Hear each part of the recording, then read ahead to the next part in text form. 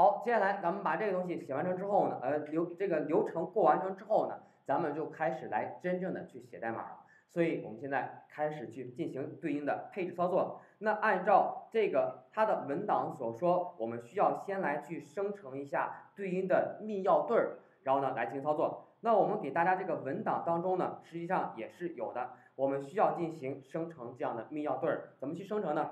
在大家的这个乌班图或者是 Linux 环境里面呢，会有一个直接现成的命令，叫做 OpenSL OpenSSL，它是专门用来可以生成 RSA 的这样的密钥对的。在 Windows 里面的话，应该是没有这样的命令。所以如果大家进行生成的话，需要在你的这样的虚拟机当中直接调用就可以了。那我们现在来看一下怎么操作呢？咱们直接去输入这个 OpenSSL，输入这个命令，输完这个命令之后呢，直接就可以进行操作了。我现在要先进行生成的话，你要注意，我得一个来一个来生成。我先来去生成私钥，生成完私钥之后呢，再来去生成公钥。所以的话，生成私钥的话，怎么来进行生成呢？就是关于这样的一个命令呢，叫做这个 gen 代表生成意思，gen，然后呢是。RSA 生成 RSA，然后呢，这个杠 OUT 代表什么意思呢？我生成之后的话，这个密钥是什么东西呢？它就是一个字符串。我在去使用的时候呢，一般都会把这样的字符串给你保存到一个文件当中。所以这个杠 out 代表你要把那个文件保存到哪里面去。所以现在我在指明的时候呢，我当前是不是运行在这个这个加目录里面呀？所以我直接就可以指明指明一个文件，指明文件的话，它就是直接给我保存到加目录当中了。那所以，我现在先来看一下，在我的加目录里面有什么样的文件呢？咱们 list 一下，我在这里面的话，之前已经有，我先把它删掉。app private key，然后呢，还有一个 app public key，我先删一下，删一下之后，我加目录里是不是没有了？回过头来，咱们来看一下，我去进行生成，生成的时候呢，我们一般都会把这样的东西呢，叫做应用的 private key 私钥。然后呢，一般这样的密钥这个文件的话，它的后缀名呢，一般我们习惯性使用的就是 PEM，是这样东西。但是我们要跟大家说明一点，之前我有跟大家提到过吗？在 Linux 系统环境，在 Linux 系统环境当中，后缀名不是直观最重要的东西，说过吧？所以这是关于这两点，然后呢，后面再来看一下二零四八代表什么意思呢？二零四八代表是生成这个密钥的复杂度，也就是说它的一个长度问题了。如果你指明的是二零四八的话，那对应的这个签名方式呢，就是 RSA 二，也就是我们在这里能够看到的 RSA 二的推荐的方式。所以我们在使用声明的时候呢，都是给它创建好的，都是采用二零四八这样复杂度。好，我进行生成，敲一下。看一下，它给我生成的是二百零四十八两千零四十八位的那么长的东西。好，我回过头来来去看一下，咱们 list 一下，刚才是不是已经就有了 AB private key 啊？然后呢，我可以通过 cat 这个命令，咱们看一下里面内容。你看一下什么内容？就是这么长度的一个字符串。所以我们说了密钥密钥就这么东西。这可比微信里面那个 token 是不是要复杂的多呀？然后接下来我们看一下这个私钥有了，私钥了之后的话，我们还来得去生成一下公钥。生成这个公钥呢，它是跟你的私钥是相配对儿来去进行操作的。所以我们现在回过来的话，进行生成的时候呢，咱们怎么生成呢？是执行的是 RSA 这个命令，使用 RSA 命令进行生成。然后生成的话，这个杠 in 是代表读入，我得去读入某个私钥才能生成配对的公钥。所以是哪个公钥呢？还是我当前目录里面有一个刚刚生成的 app 里面的 private k 点 pm，我让它先读入这个私钥，读完这个私钥之后呢，我再来去生成执行什么命令呢？杠 pub 代表是公共的意思，然后呢进行是公钥输出。执行这样操作，实际上是输出之后保存到哪呢？杠 out，我要给你指明一个文件。那一般文件的话，比如说把它叫做应用的 public key，public key，然后也是点 pem。然后呢，这时候我再先来看一下，敲一下命令，下面的之后呢，说了去写了一个公钥。我们把它看一下，公钥当中在哪呢？回过来再 list 一下，刚才已经有个 app public key 了，所以我现在来 cat 一下 app 里面的 public key。你再来看一下公钥是不是就简单的多了？所以这个公钥就是要配给谁的呢？是要配给这个支付宝的。所以现在这样密钥对生成完成之后，回过头来，我们现在来看一下，咱们先把这个公钥在这里面直接打开。然后呢，我去复制一下，复制一下，你就要注意到这个里面后面这个长度就是这样的，不是它是一行字符串，而是说确实是有换行的，所以我们就在这里面直接复制一下，回过头来直接，我看一下这个页面当中是不是又失效了？你看支付宝做的，我一猜就是。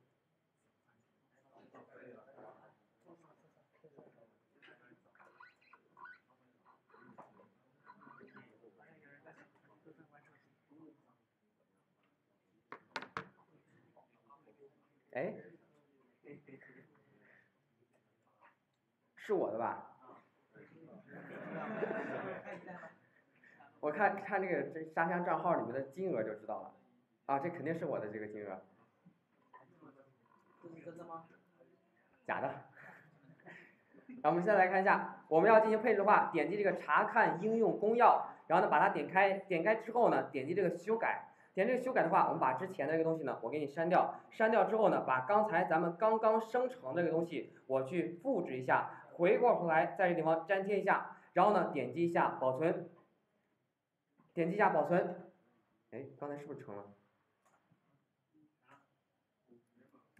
我保存。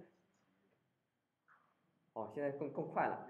保存一下之后呢，现在是代表已经配置进去了。配置进去之后呢，相当于这个公钥就有了。支支付宝的公钥有了之后的话，那接下来呢，咱们继续往下去处理。我们需要处理什么东西呢？按照我们才所说的话，我一会儿在程序当中是不是也会用到咱们刚才所说的这个私钥啊？不是，我们是不是在程序当中得得用到私钥啊？所以咱们把这个私钥也保存下来。咱们保存到哪呢？咱们在咱们的程序当中，在这个 iHome Python 04里面，这是我要用到的。然后呢，我一会儿是会在这个蓝图的这个文件里面会用到。所以呢，咱们在这个 iHome 里面呢。专门给谁呢？给这个 IPI 一杠零这个蓝图当中，我现在在这里面专门去创建一个文，创建一个文件夹。比如说我把它叫做 case，专门用来去保存密钥的。然后呢，把刚才刚刚所创建好的那样的一个东西拿过来，在我的加目录当中有一个，我是不是要把这个私钥拿过来呀？你不要拿错了，不要把公钥拿过来，我们要把私钥放到咱们的程序当中来，这是关于这点。然后呢，除了这点之外的话，我们有有些时候呢，可能还会接收到支付宝的一个回调通知。那我要进行验证的话，我也得用到支付宝的公钥。所以的话，我们在哪呢？在一个支付宝的这个公钥，把它点开。点开之后呢，我需要把它粘贴一下，再放到咱们的程序当中，我来去保存一下。我把它复制一下，回过头来，回过来，在咱们的程序当中看一下，刚刚我创建好的 case 已经在这儿了。所以我在这里呢，再去创建一个文件，这个文件呢，比如说我把它的谁呢？它是阿里云的阿里 Pay，阿里 Pay 的，然后呢，公钥 public key，点 k k 里面的 PM，我们给它放到这儿，放到这儿进行一下粘贴。但是粘贴到之后的话，然后呢，还有一点问题，有一点什么问题呢？我们在这里面直接去以文件的方式去使用这样的一个公钥的时候呢，实际上这个公钥就像刚才我们可所看到的私钥一样，它会有一个起始的标志跟一个结束标志，公钥也是有的。而在阿里云当中直接粘过来这个地方呢，它是不包含那个标志的，所以我们还要去给它添加这样的标志。那这个标志呢，我们在这个文课文件当中也说了，我们需要给这个东西添加上。咱们把这东西 begin public key 拿过来。放到咱们刚才所对应的这个文件的一个起始行当中，我把它这个地方复制一下，我把它复制一下，然后放到起始行，然后呢，相对应的还有一个结束的 end public key，然后呢，我们是需要放到那个密钥的底下去的，所以需要补充上这个东西。补充完这个之后的话，那相对应的这个公钥跟私钥都有了。都有了之后，我们接下来呢就可以进行相对应的开发操作了。所以现在我们来去看一下，咱们这时候配置完之后呢，开始开发。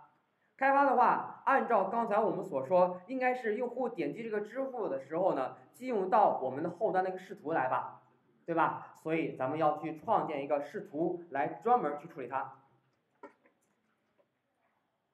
我们先来看一下，那对于这个支付的话，我们再另外建一个文件。比如说我把它叫做什么东西呢？就叫做 pay 支付的。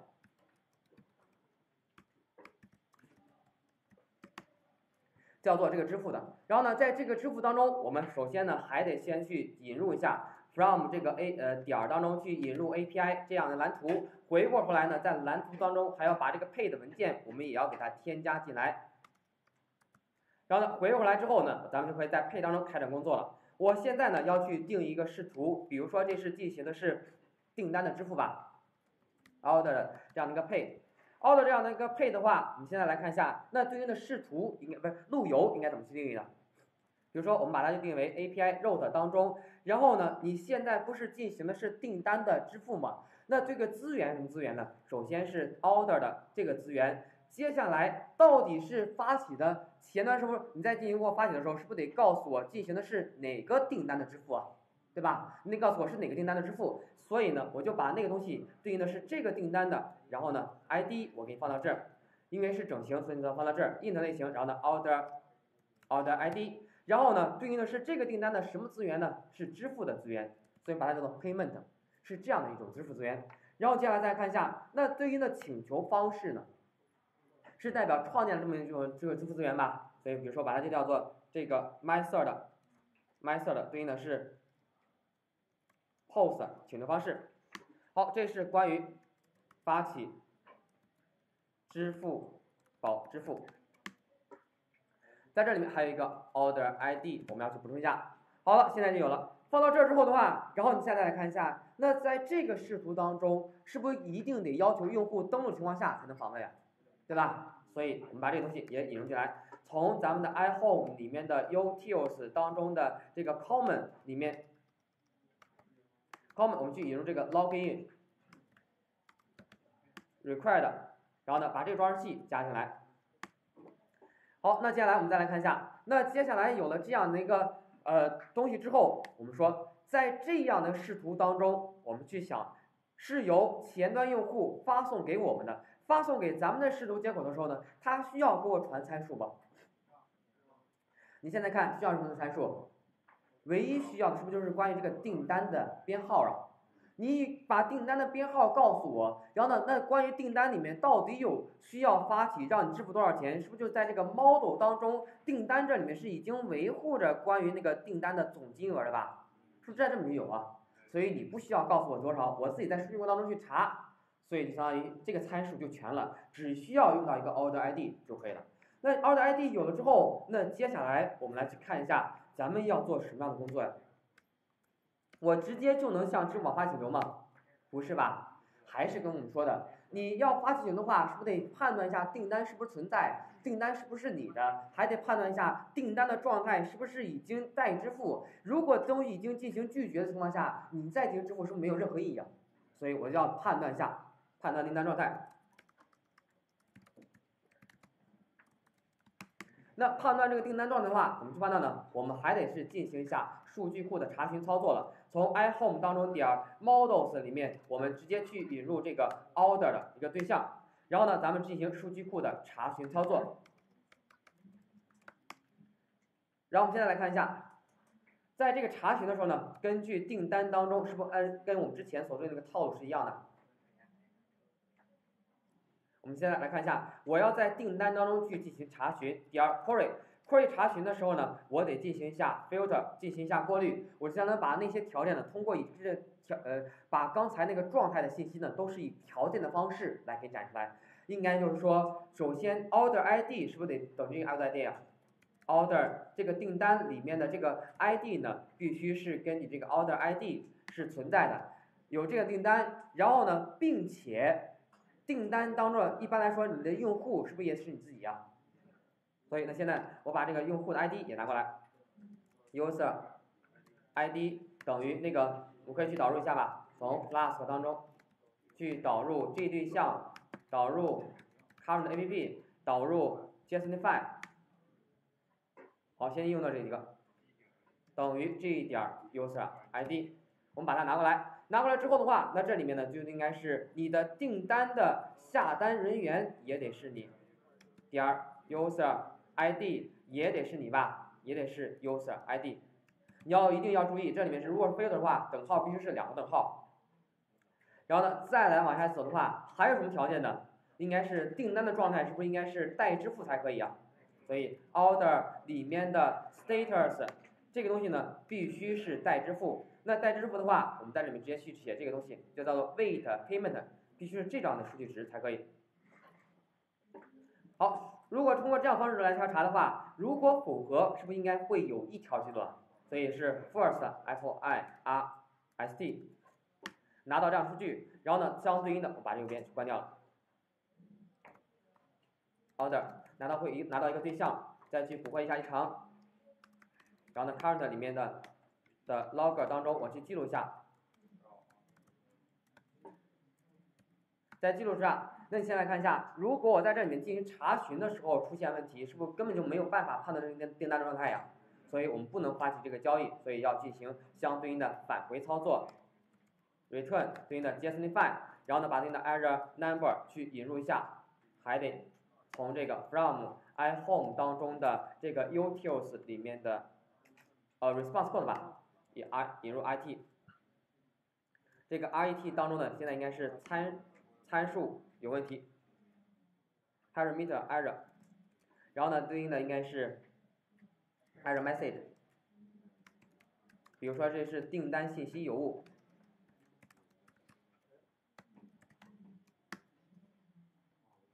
啊，这不应该不是订单信息，我应该是数据库异常，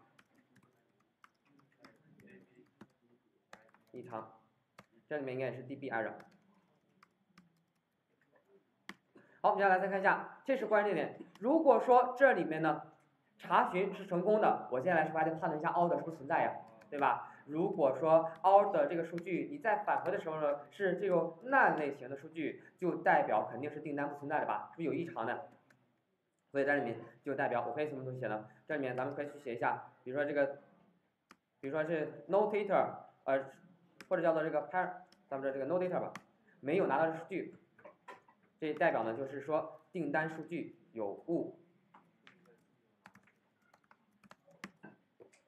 好，这是关键点。那拿到这个之后的话，接下来我们是不是就可以进行构造发请求了呀？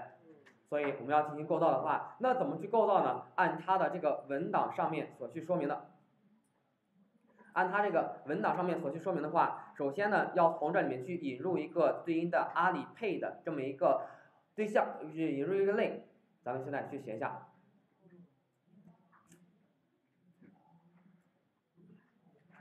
咱们在里面从这个阿里配当中去引入一个它所封装的。这个阿里 Pay，然后呢，我们现在去创建支付宝 SDK 的工具对象，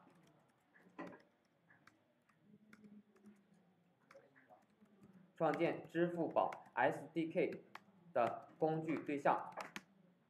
所以呢，咱们比如说把它叫什么呢？我们就把它叫做这个阿里 Pay，阿里 Pay 的客户端 Client，然后呢，它应该是这个阿里 Pay 的东西。然后呢，我们现在来看一下，在这里面呢要去传什么参数呢？它已经给我指明了要传这些参数，所以我们把它拿过来放到咱们这里面来进行操作。在这里面进行操作的话，我们接下来来看一下，咱们一个一个的进行补充。那首先第一个 APID，APID 呢就是咱们刚才对应的应该是这个沙箱环境里面的 APID 了，所以咱们这里面应该是这个参东西参数拿过来放到这儿。然后呢，第二个是 notify URL 吧，我们说了这个地方呢，咱们不需要它回调，所以呢，咱们就要给它留空。这个留空的话，需要注意点问题，什么问题呢？这个人在去写这段代码的时候呢，他所提供的这个样例写的是说你可以去传空字符串，但是它的源码里面呢，却不是这么去判断的，它的源码里面直接是跟 none 进行比较的，所以我们在这里面要给它改成 none。如果我们不去指明，就要给它传这个 none 的东西。然后呢，接下来大家看一下 private key。Private key 是不是代表我们说的那个私钥啊？这个私钥。那这个私钥的话，咱们怎么做呢？刚才我们是不是已经给你放到 case 目录里面了？所以我应该是从 case 目录往外去拿对应的这个文件吧。它只要告诉我是这个钥匙的这个路径，也就是那个文件路径就可以了。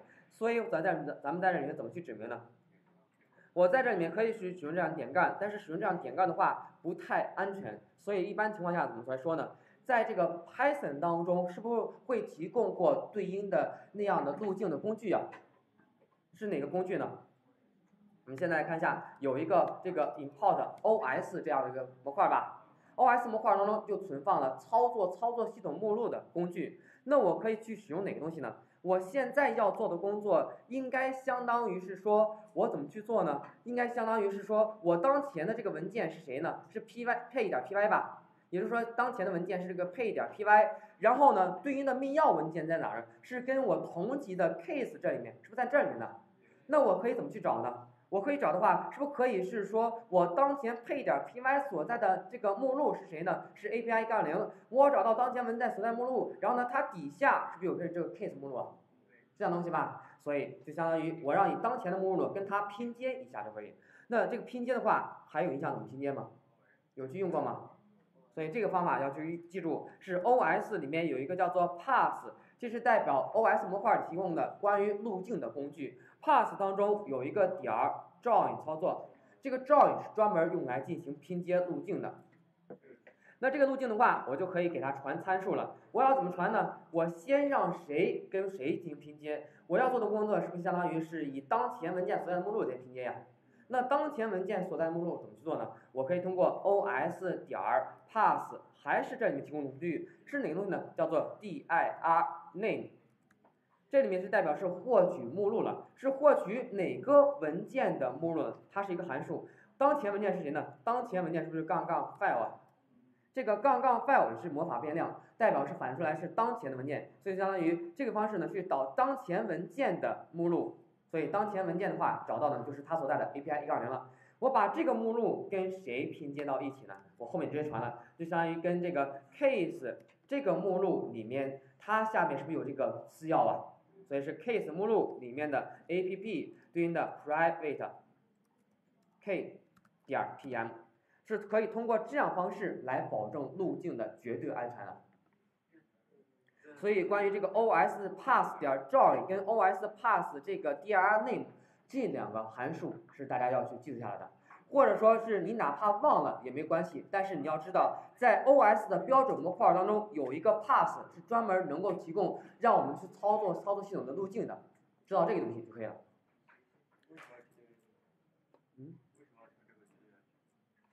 通过这样方式的话，它实际上帮助我们进行拼接的时候呢，你再去使用这个点杠的时候的话，点杠实际上也是可以的。但是呢，我们一般情况下在这里做的时候呢，就是直接把那个点杠去掉，就是直接拿这样的方式来去获取这样的路径。然后呢，紧接下来这样一种方法的话，就是说这个方法再去获取路径进行拼接的时候呢，它能够自己帮助我们来判来判断操作系统的平台。你去想一下，在 Linux 里面它的路径是什么样的路径？路径的话，Linux 的路径是不是都是通过这样方式来进行判断的？然后呢，Windows 呢？是 Windows 的话，是不是反的方向呀？还有印象吧？这是关于这点。然后呢，再相对应的，我再通过 join 方式来再来进行拼接参数的时候呢，就有可能说前面可能是某个路径吧，可能是一个 pass 路径。然后呢，后面的话，我要让这个路径跟谁呢？跟我刚才这个 case 进行拼接。那说在我进行拼接的时候，有没有可能前面也带了东西，后面也带了东西了？有可能吧？你说我在拼接的话，我最终形成的东西应该是 pass，然后斜线 case 保留一个呀？所以你可能自己得去处理了。我是说保留前面东西呢，还是保留东西后面东西呢？你如果使用这样参数的话，就不需要你操心了。哪怕你前面带了，后面也带了，它最终也是给你保留一个。哪怕你前面不带，后面带的话，也能保证。你前面不带，后面也不带的话，它最终也会给你保证斜线。这是关于这个 join 操作它能够处理的。而且这两个函数在进行处理的时候呢，最终反映出来的都是整个操作系统平台。如果是呃 Windows，它就会采用这样的斜线；如果是这个呃，如果是如果是例子，它就是这样的斜线，所以一般情况下我们会去采用这两个函数来帮助我们拼接路径的。这是关于这点。然后呢，接下来咱们我们现在来去快速的把这个写一下。再往下走的话，是不是还要去写一下这个这个公钥路径啊？公钥路径也是一样的，我们把上面拿过来。我们还去拼接一下，那只不过是当前路径里面的应该是换一个东西了吧？不是 A P P 开发里 private key 了，应该是阿里 Pay 对应的是 public key 公钥。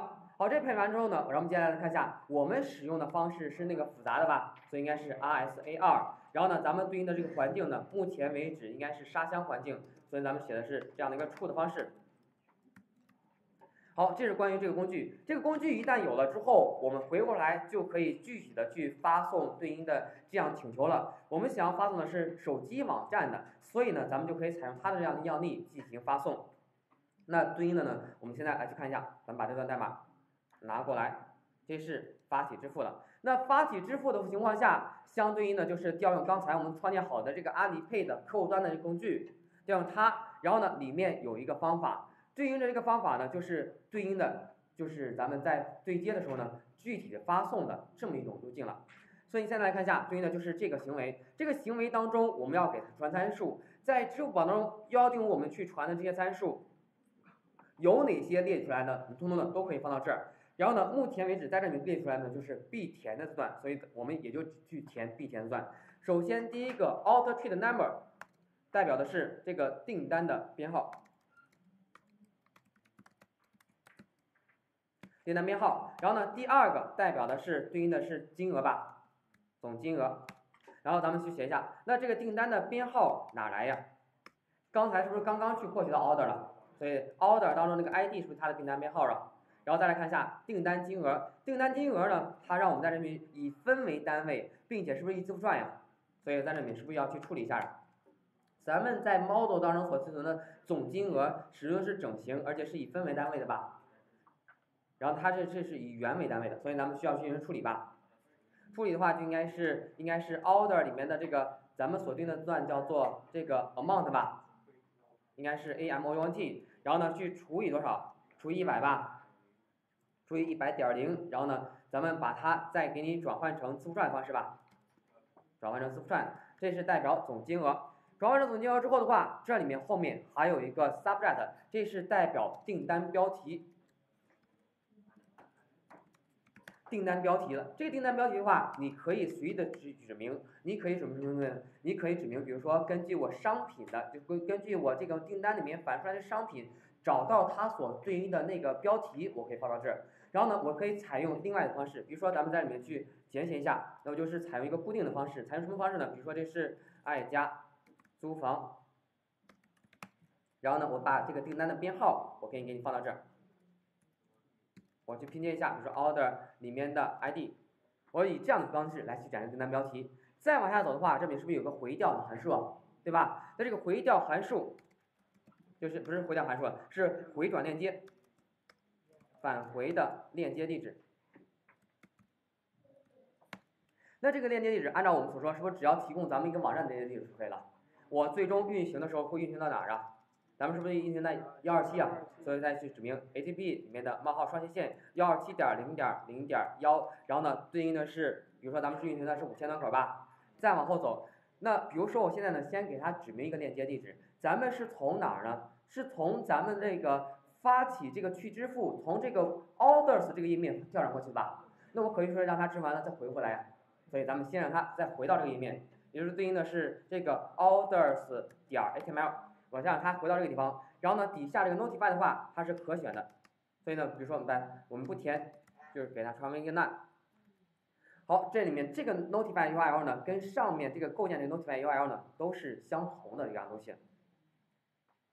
然后在这里面指明完了之后的话，我们来看一下，按照我们所说，我们是相当于是发给这个阿里云发呃给这个支付宝发送的这样请求。那支付宝发起一个请求的时候呢？它最终按照刚才我们所说，是不是要会给我们返回一个返回值啊？返回值呢是一个支付宝的一个链接地址，但是我们要知道，这个链接地址呢，它不是返回的一个完整的路径，而是说返回的是路径当中的一部分参数。是哪个参数呢？我们去想一下，最终让用户进行跳转到支付宝那个链接地址的时候，是哪个地址呢？就是支付宝的网关。就是说，我们最终让用户跳转的话，是跳转到这个网址。只不过是说，最终要跟上参数，那也就意味着说，支付宝这个请求的话，它给我们返回出来的呢，是需要我们拼接到后面的那个参数的。所以你现在来看一下，在这里面也跟我们说了，它返回出来的呢，就是那么一个参数，它把叫做 order string，然后呢，这个参数的话，我们是需要拼接到那个网址上面来的。那它给我们列出来这个网址呢，是正常的线上环境。如果我们现在采用沙箱环境的话，咱们拼的这个网址呢，就是这个沙箱环境的这个网址了。所以咱们把它关一下。沙箱环境我们就要跳转到这，沙箱环境的网址跟线上环境网址的话，只是在这个地方，在中间地方多了一个 DEV，你把 DEV 去掉就是线上环境，多了一个 DEV 就是沙箱环境。所以就说，最终我们让用户跳转的链接跳转到哪呢？应该让它跳转到这个地方来吧。所以我们要去做构建一个这个网址了，这是构建让用户跳转的跳转的支付宝链接地址。那比如说我把它的阿里 Pay 的 URL，阿里 Pay 的这个 URL 呢？比如咱们这个支付的配 URL，那这个支支付的 URL 呢，就是按照刚才我们所说，应该是配置这样的链接呀。那这个参数的话，前面是不是都固定的呀？你说前面是固定的话，我是不是也得提出来呀？咱们比如说可以放到哪儿呢？咱们也给它放到常量里面。这是支付支付宝的网关地址。或者是支付支付地址前缀，其支付地址域名。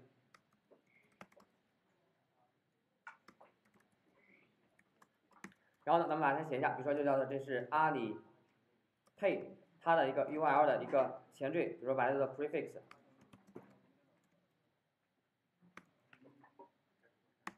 那这个东西呢，我们把它拿过来，应该是这样的一个网址。比如说，把咱们把这个问号也给你包含进来，放到这儿，放到这儿之后的话，那回过来呢，我在这里面后面就可以直接去使用它了。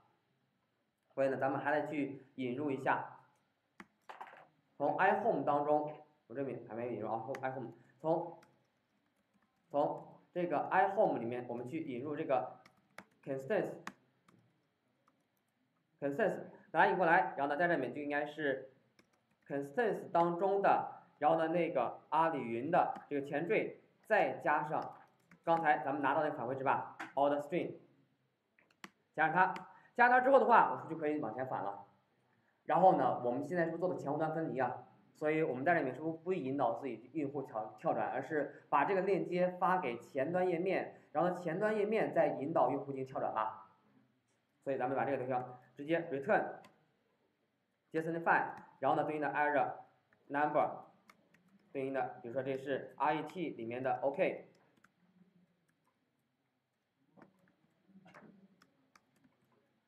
然后呢 error message，比如说我把它也叫做 OK，然后呢再有的话是不是要跟上数据了？比如说把这个数据呢叫做 data 等于什么东西呢？里面要包含一个 pay URL，然后呢它的值呢就是这个 pay URL，好放到这儿，那对应的后端就写完了。